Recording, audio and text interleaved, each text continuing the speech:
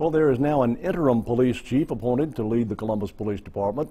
In the wake of the resignation of former Chief Tony Carlton during a special session, Columbus, uh, Columbus Council members unanimously voted to appoint Captain Fred Shelton to the position. The 32-year veteran of the department has been handling the day-to-day duties since Carlton's resignation. The search for a permanent police chief begins Friday. Captain Shelton plans on being one of the applicants in a national search to fill the position of top cop in the Friendly City.